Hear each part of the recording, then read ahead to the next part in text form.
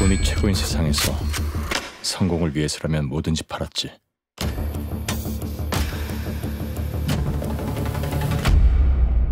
바로 내일 우린 여길 탈출한다. 이술 털리면 여기서 다 같이 죽자고 할 수도 있어. 좀만 더 보자. 교수가 세운 작전 이미 다 무너졌다. 뭔가 이상해요.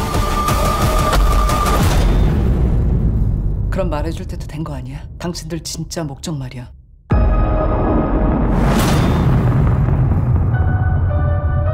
이 종의 집은 원래 민중들의 것이니까.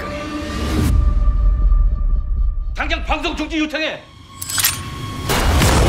우리한테 협조해요. 그럼 형량을 대폭 낮출 수 있어요.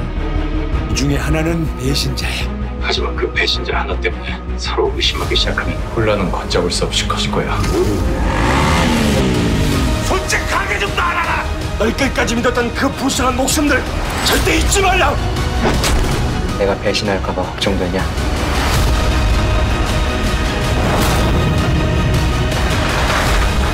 미쳤어. 인질들이 위험해지잖아. 불가피한 희생인 거죠. 살고자 하면은 뒤질 것이고 뒤질라고 하면은 살 것이다. 이난 세상에 진짜 도둑이 누군지 알려줄 거야. 지금 시도해볼 수 있는 건 이것밖에 없어.